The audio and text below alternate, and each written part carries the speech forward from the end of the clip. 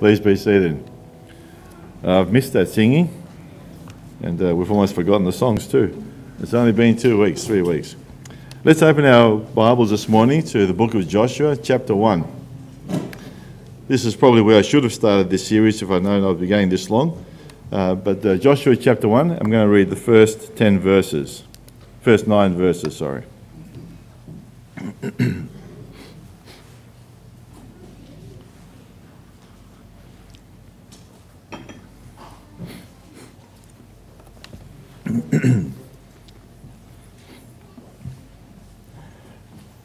After the death of Moses, the servant of the Lord, it came to pass that the Lord spoke to Joshua the son of Nun, Moses, Moses' assistant, saying, Moses, my servant, is dead. Now therefore arise, go over this Jordan, you and all this people, to the land which I am giving them, the children of Israel. Every place that the sole of your foot will tread upon, I have given to you, as I said to Moses. From the wilderness and this Lebanon, as far as the great river, the river Euphrates, all the land of the Hittites, and to the great sea towards the going down of the sun shall be your territory. No man shall be able to stand before you all the, all the days of your life. As I was with Moses, so I will be with you. I will not leave you nor forsake you. Be strong and of good courage for to this people you shall divide as an inheritance the land which I swore to their fathers to give them. Only be strong and very courageous, that you may observe to do according to all, uh, all the law which Moses my servant commanded you. Do not turn from it to the right hand, to the right hand or to the left, that you may prosper wherever you go. This book of the law shall not depart from your mouth, but you shall meditate it, uh, meditate in it day and night that you may observe to do according to all that is written in it. For then you will make your way prosperous, and then you will have good success. Have I not commanded you? Be strong and of good courage. Do not be afraid, nor be dismayed, for the Lord your God is with you wherever you go. Moses died, and God gives Joshua an invitation and a commission. What is not written here is all the history, because the history is all the previous books prior to Joshua. And we don't have time to go through all that history, but essentially, God brings Israel out of Egypt, as we read in His Word. It says, with His mighty hand. He freed them from 400 years of slavery in Egypt, and they're in, they come to the wilderness, to the desert, and it was only a short trip into the promised land. But a lack of faith meant they did not or were not able to enter the promised land, and so they're stuck in the wilderness for 40 years. And now they're looking to come into the promised land. This is after 40 years in the wilderness. And to lead them into the promised land is Joshua. This is the second time. The first time, because of a lack of faith, they couldn't enter. A second time now, and they still require faith to enter the promised land. The plan for them was not to stay in Egypt, nor was a plan for them to die in the wilderness. Anyone over the age of 20, when they came out of Egypt, when they first came to cross the Jordan River to enter the promised land, passed away. So there were many older people around. So the plan wasn't for them to stay in the wilderness. The wilderness was a place of limbo. That's where they were stuck, but that's not where, they, where God wanted them. The whole plan was to bring them to the promised land, to give them a new life in the promised land as it's written, a land of milk and honey, with all the blessings that God would provide for them in this promised land. And that promised land was across the Jordan, on the other side of the Jordan River. And it required faith to help them get across this Jordan River to enter this new land where God would provide everything that He promised them. This was the land of their dreams. They've been looking forward to this point in time in history to have their own land, the land they would call their home, their land. And that's where, uh, that's where their mind was, to get to this land. Unfortunately, the history was that they were stuck in the wilderness, and many of them passed away in the wilderness. And you know, many people are like that. There's, you know, we begin our life uh, with a lot of dreams and ambitions, and then comes this thing called age and maturity. And if your dreams and your ambitions get pushed out even further into the distance a lot of the time, and sometimes you think, am I ever going to achieve any of my dreams, my goals, and my ambitions? And sometimes you are able to achieve them, and you think, is, you know, is that what it was all about? you know, it was a bit of a letdown, an anticlimax, because you thought you know, you'd feel something a bit more than what you do. And so this thing called age creeps in, and then we realize after a while, man realizes that there's got to be more to life than just all these things that we look forward to in this life. There's got to be more to life than just all the stuff we surround ourselves with, all the things that we set our eyes on. And they hear on one side, man hears on one side God calling him to come to Him and receive life from Him in Jesus Christ. And on the other hand, all the attractions of the world saying, that stuff is for people who can't cope with reality. Just come and join us and experience. This is what life is all about. Just experience it, and that's what it's all about. And they get stuck in this place in between. What they know is utter hopelessness and aimlessness in life. And on the other side, what they know is something that God is supposed to offer, which is a new life with purpose and meaning and all the rest of it. But that step actually requires a bit of faith to accept into my heart, into my life. And so they're stuck in this wilderness, this space in between the two. They can't go backwards because they know there's nothing behind them. They're too afraid to go forwards, and they say, well, it's better to stick with what I know than the potential of something I have no idea what this God is and what religion is and all this other stuff that I'm confronted with. And the conviction of the truth in their hearts prompts them to consider at least the possibility that they should go to God. But the pull on the other side is, are you sure this is what you want to do? You know, look at all those crackpots that end up in churches, cults and all the rest of it, and the narrative of the world really feeds into that. And yet that's exactly what God calls us to do, to trust Him with our lives and to come out of the rubble of this world and to find life in Jesus Christ. Come to me, all you who are weary and tired and heavy laden, and I will give you rest. The place of the promised land was called the land of rest for the Jews. And he calls us to come to a land of rest. And so that's all the history, and that's how we fit into this story of the Israelite nation and God's call on us today by faith to enter a new life. Now, this story opens up, this passage opens up with the words, after the death of Moses. And so Joshua now is leading the Israelite nation. And we read the first nine verses, and you can't escape all the times God says to Joshua, Be not afraid, be of good courage, do not be dismayed, focus on my word. I'll be with you like I was with Moses. Be encouraged, be not afraid, not discouraged. And you can't help understanding from that that there was a problem uh, that Joshua had in this position that he finds himself in, uh, it looks like he was, had a lot of fear and a lot of insecurity, doubts about how he was supposed to lead these people. Because you know, till now, well, God spoke with Moses, and Joshua uh, lived with Moses uh, within Moses' shadow. And let's make no mistake, Joshua was a man of faith. In the last chapter of Deuteronomy, it actually tells us that people recognized in Joshua a spirit of wisdom and faith and they looked at Joshua the way they looked to Moses. So the people saw in Joshua what they expected to see in their leader, but Joshua didn't see that in himself. And he looks like he was rather afraid. And it's not surprising because, in terms of wisdom and life experience and uh, whatever else comes with age, well, the only two elderly people, if you can call them that, that come out of the wilderness was Joshua and Caleb. All their peers died because of their lack of faith. Only, they're the only two that came. And he watched Moses and he saw Moses and he followed Moses and he saw that when Moses prayed, he would win the battle.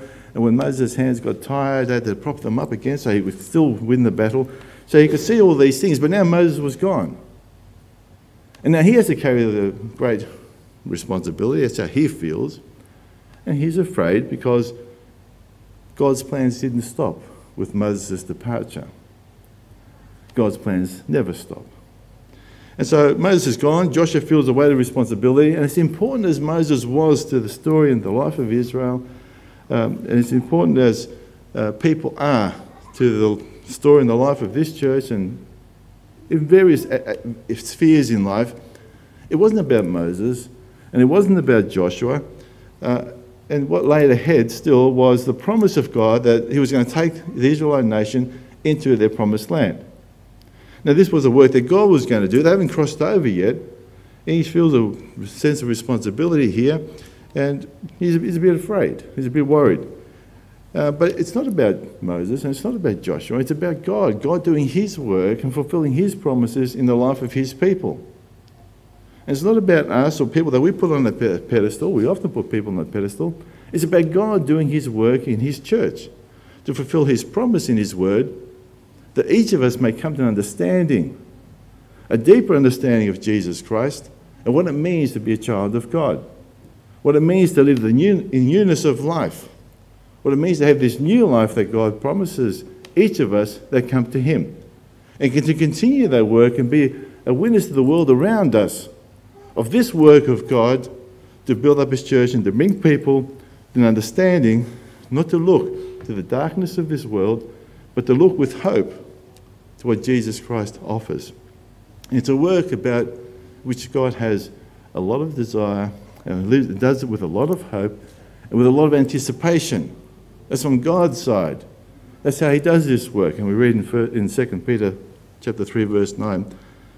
The Lord is not slack concerning his promise, as some count slackness, but is long suffering towards us, not willing that any should perish, but that all should come to repentance. That's God. It's Peter talking about God. His desires that all come to repentance. And he's not slack concerning his promise, he's coming, but he's waiting because he doesn't want anyone to not grab a hold of this promise and not become a child of God, not experience this new life. And the question this morning is is He waiting for any of us? Have we experienced this newness of life that God's word promises? All those that come to Jesus Christ. Is God saying this morning, no, no, not yet. There's one more person at Peel Street. There's one more person I'm waiting for. Because He's opened the door for new life. And he's opened the door through Jesus Christ. Don't sit in the wilderness, a, place of meandering, going around in circles. If you haven't yet given the life to Jesus Christ, come to him and receive life from him and experience the joy that comes from having a living relationship with God. So, Moses had died. Joshua feels a weight of responsibility. He feels it on his shoulders, and yet it's God's work. God's doing all this in the background. Why did God wait for Moses to die before he gives Joshua this invitation and his great commission to arise and stand and cross over the Jordan? Why does he wait for Moses to die? You get this sense that you know, he says here, Moses, my servant, is dead. Now, therefore, arise.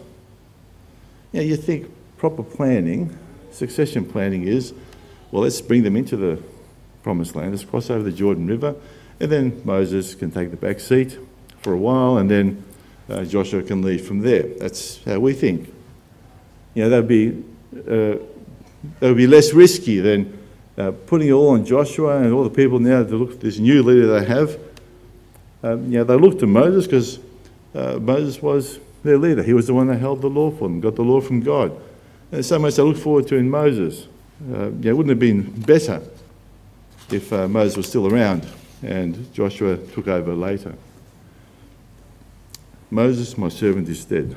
Now, therefore, arise and go over this Jordan. I can't escape this question.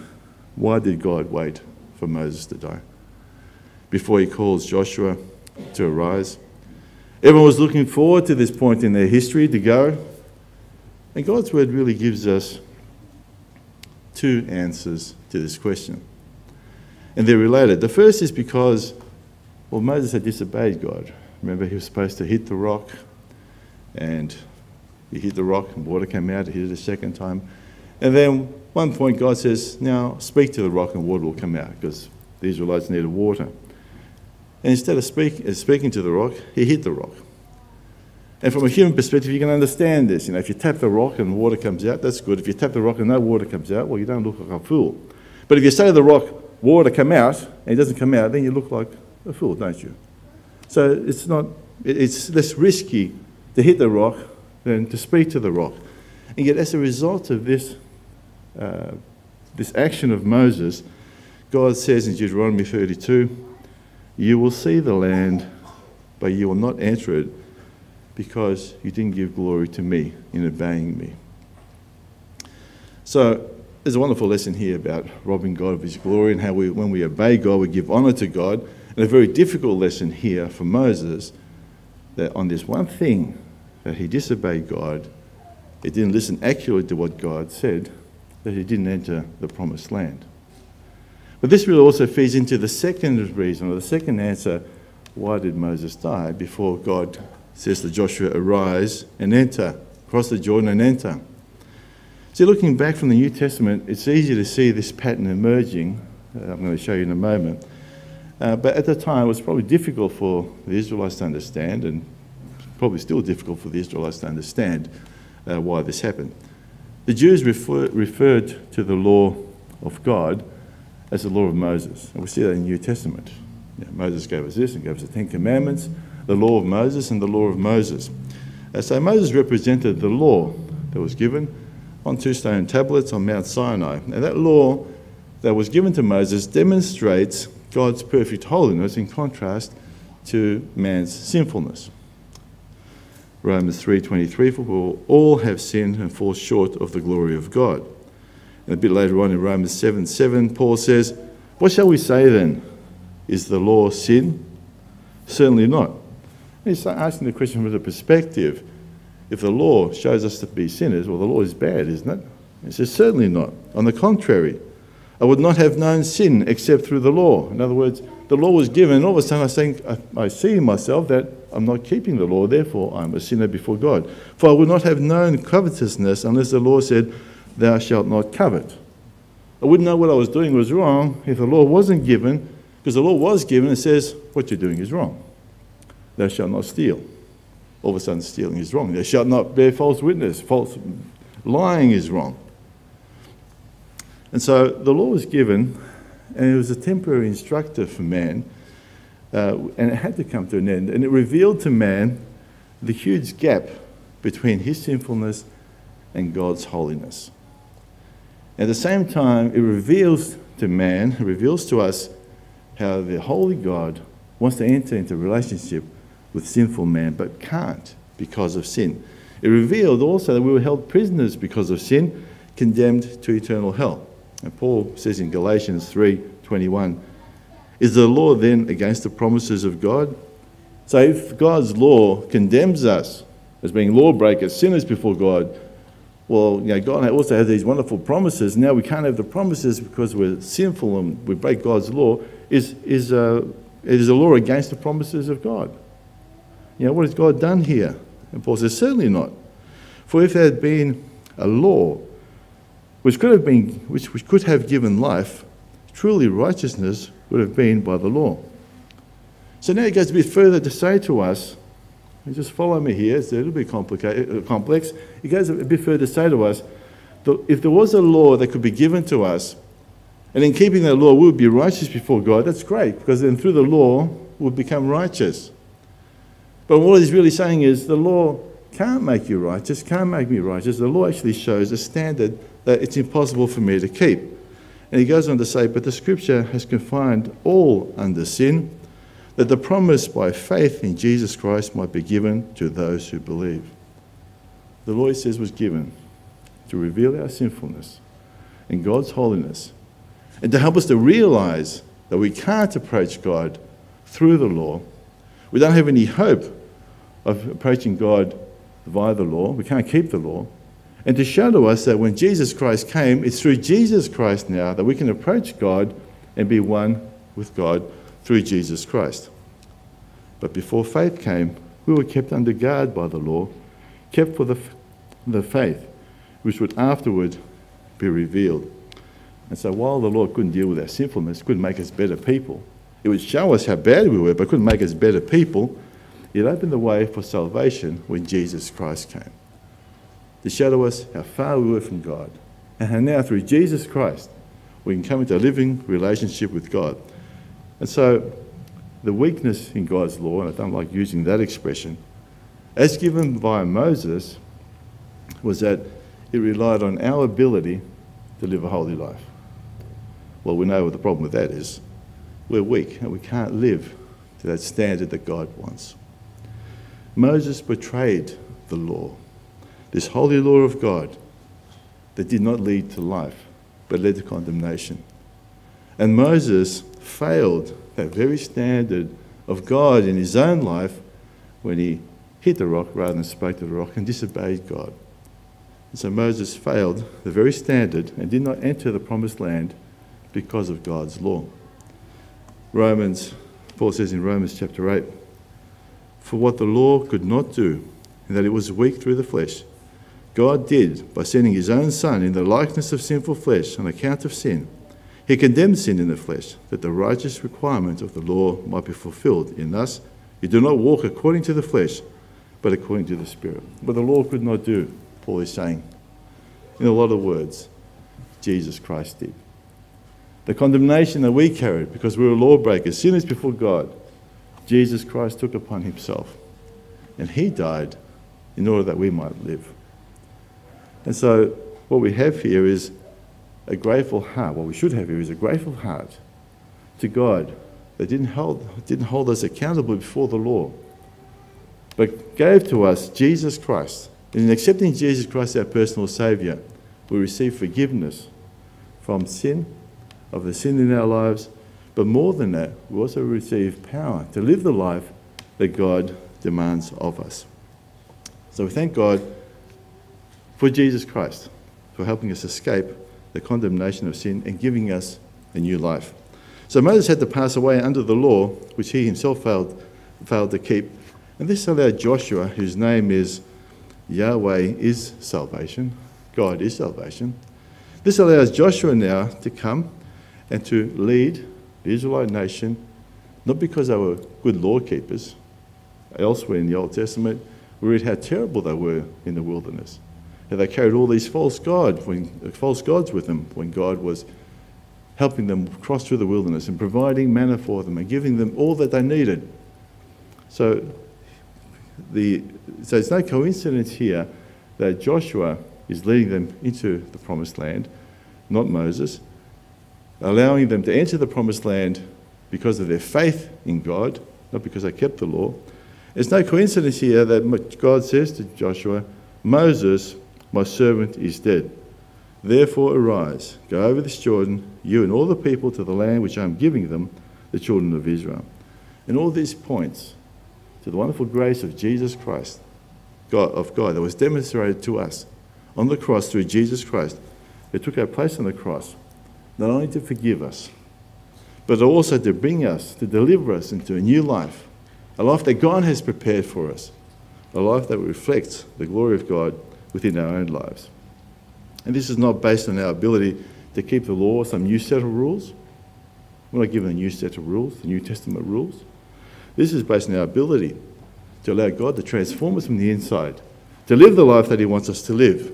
And while Christian life means obedience to the principles that we have in God's Word and the commandments that we have in God's Word, it's much more than that. If that's all it was, then God's Word would still stand to condemn us. But with the rebirth, the new heart that we receive when we give our hearts to Jesus Christ, that regeneration that works on the inside, transforms us and helps us to live this new life that Jesus Christ expects of his children. What we read in the New Testament, the newness of life, to be obedient to God, not to constantly be hounded by the Lord as saying you fall short, but to have the power within us to live this new life that God wants from his children. God asks us today to leave the wilderness, to cross the Jordan, and to enter into the new life that he has prepared for us. And this is a message that we give anyone that doesn't know Jesus Christ to come to Jesus and receive forgiveness and a new life, a transformed life. But it's also an important message for us who've given our hearts to Jesus Christ to remember we're not in the wilderness. We've been called to a new life and to take heart because Jesus Christ has given us the power to live that new life. Simply knowing we're sinners or trying harder is not the exit solution from the wilderness. I'm going to try harder next time. I'm not going to do this, the same thing. That's not the secret.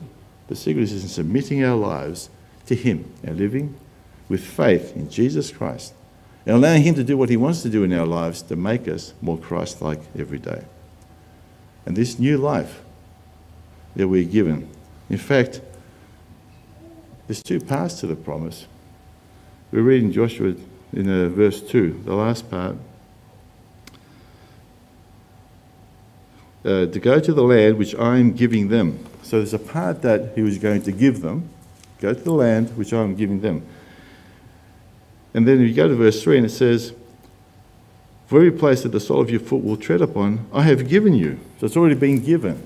And we understand this better in the next chapter when Rahab, who took, on, took in the two spies, she confesses to them and says to them, When we heard you crossed over the Red Sea and you came across, we knew in our hearts, we knew in our hearts that God had given you this land.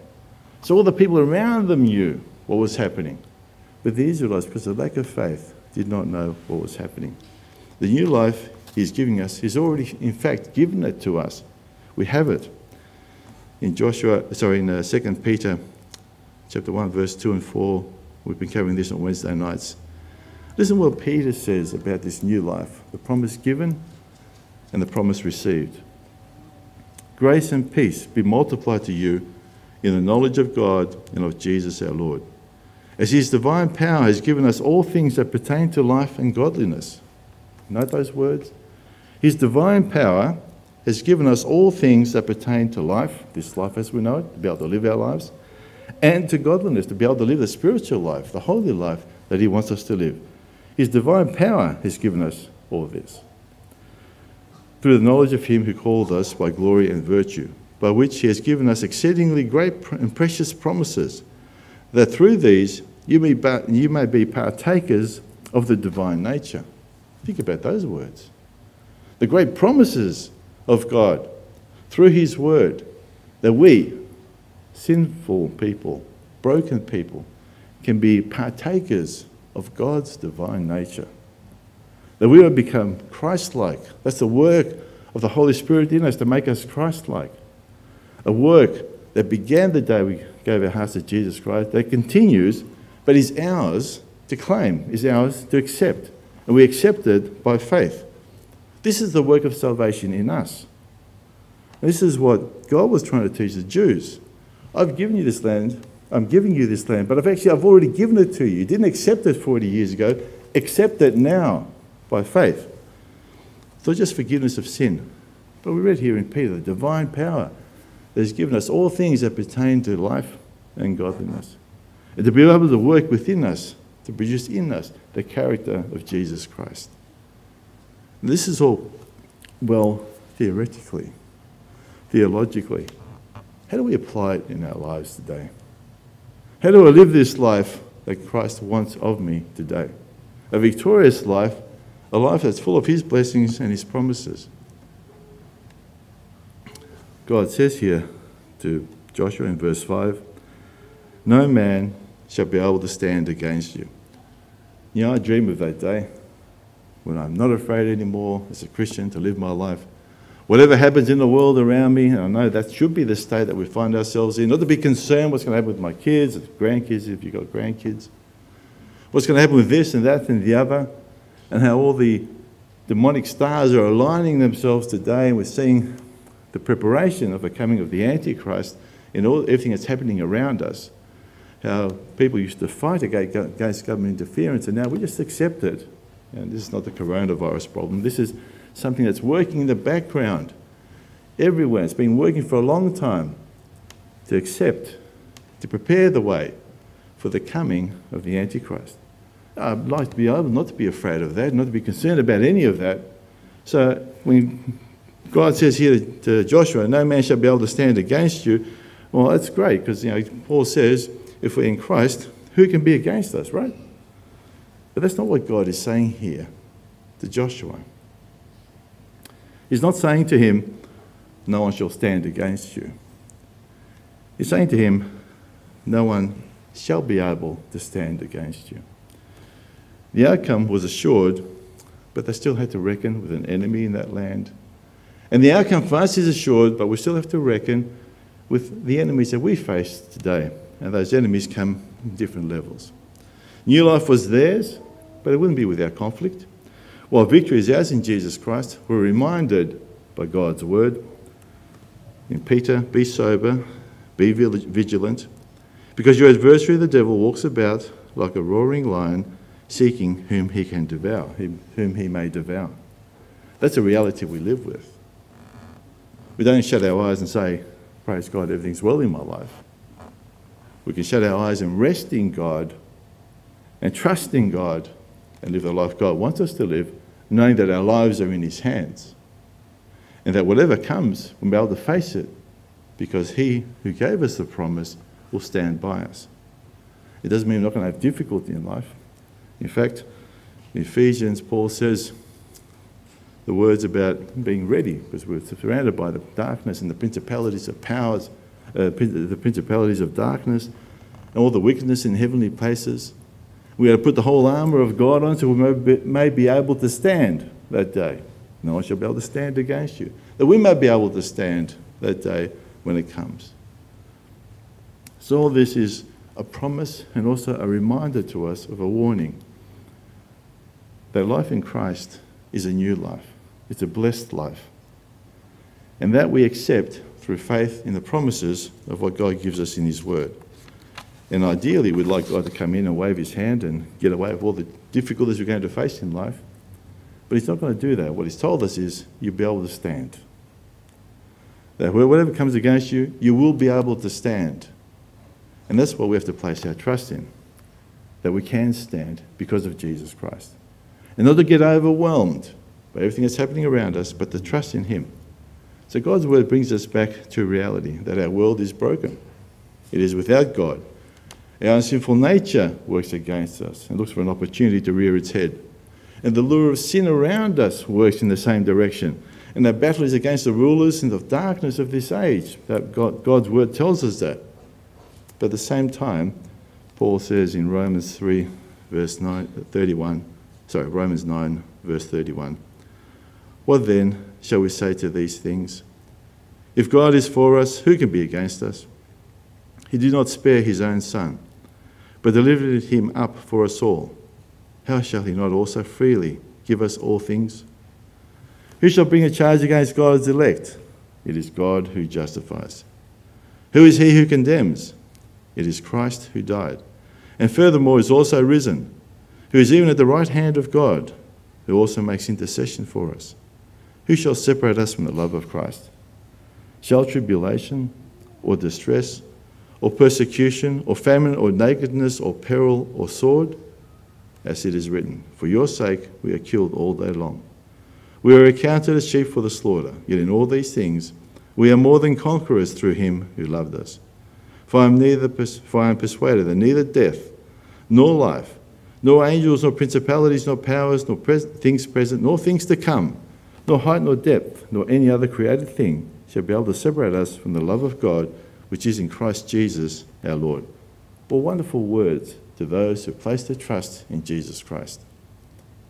That all these things that we're going to face in life, we're going to face them all, cannot separate us from the true home that's waiting for us. And that true home is not just newness of life here, that true home is eternal glory that Jesus Christ has prepared for each of us. And that's what we should keep our eyes on. That day when we see our Saviour face to face, welcoming us into His glory. And to get to that place of rest, to get to that glorious place, there's a life that we have to live through now. And there's a life that we are called to stand, to stand, there's an enemy that we're called to stand before now and live faithfully in the presence of that enemy, the enemy of our soul. And we're not going to do that by closing our eyes and pretending he's not there. We're not going to do it by hiding. We often say at home with the kids, I hope they don't mind saying it. What happens if this happens, and what happens if that happens, and what if the Antichrist comes? We'll go to the camp, we'll go to Walkerville, we'll hide there. You can't hide. We can't hide. No one can hide from what's coming. But we can be safe in Jesus Christ, knowing that neither death nor life can separate us from Him. What does that mean? Neither death nor life. We think of life being great, but life actually separates us from Him as well. Neither death nor life can separate us from Him.